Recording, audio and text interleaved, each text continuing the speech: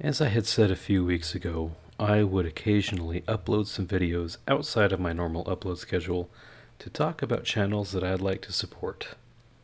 All Visuals for You is no exception. All Visuals for You is actually the first channel I have ever done a collaboration with, and I think I quite naturally feel a soft spot for my first partner on YouTube.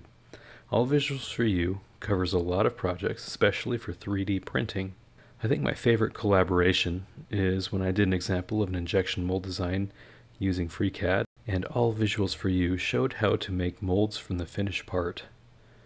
There are a number of other cool projects All Visuals for You does, such as making and printing a wallet, a caster wheel, a bike seat, and even GIMP and Blender videos.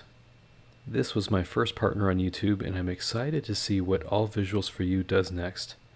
Be sure to subscribe. I think this channel is going places.